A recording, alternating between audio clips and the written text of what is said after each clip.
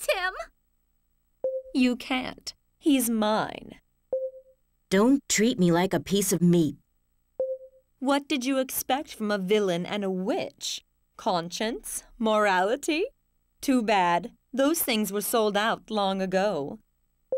At any rate, all the men in this world are mine.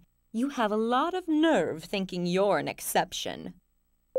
Then I'll take him by force. Try it, silly little girl.